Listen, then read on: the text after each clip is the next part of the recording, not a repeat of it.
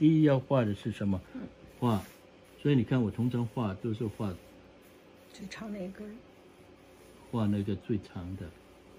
那假如说，呃，有时候呢，我会画最后这边这个。那有时候呢，也会画中间这个。它不是这样有有长有短吗？那其他的呢？